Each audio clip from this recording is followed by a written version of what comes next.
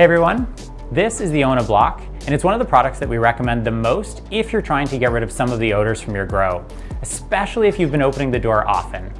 The way that this works is you can put it in the room around your Grobo where there's some nice airflow present, and it's gonna get rid of a lot of the smells. It's made up of natural essential oils and it can last for about 30 days at a time. That's really why we love this product so much. So let's open up the Ona and see exactly how it works. When you open it up, you will see that there's a metal foil on top. You can just peel that right off.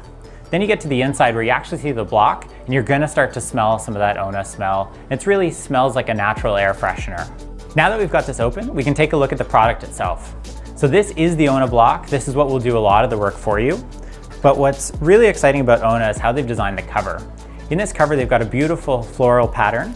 But what's cool is that with some scissors or a pen, you can pop out part of the cover and just leave the openings.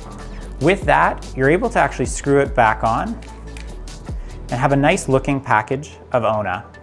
If you decide that there's a little bit too much of the smell coming out and you're doing a bit too much deodorizing, that's when these little pieces of paper that you popped out come in handy. You're able to cut them into halves or quarters or really any size that you want and put them back into the cover and that'll control the flow of just how much of the odor is being taken out at any one time. So this is the Ona block. It can last for about 30 days, uh, and it's one of our favorite products that we offer. We hope you enjoy it.